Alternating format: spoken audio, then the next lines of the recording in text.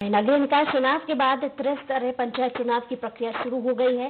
गैर दलीय प्रणाली से होने वाले पंचायत चुनाव के लिए नामांकन प्रक्रिया भी शुरू हो गई है।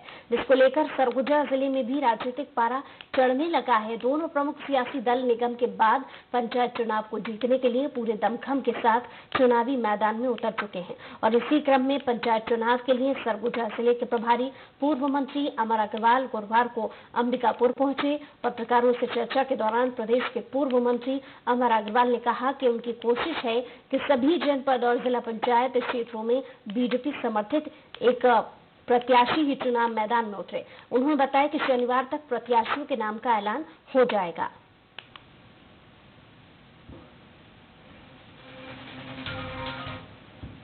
नामांकन की प्रक्रिया है। तो हमारी कोशिश होगी कि छह तारीख से एक दो दिन में हम नामों की घोषणा कर दें। जिसके नामांकन भी हो सके। और, एक व्यवस्थित तरीके से हमारे कार्यकर्ता सब काम में। वही बिलासपुर में सरकार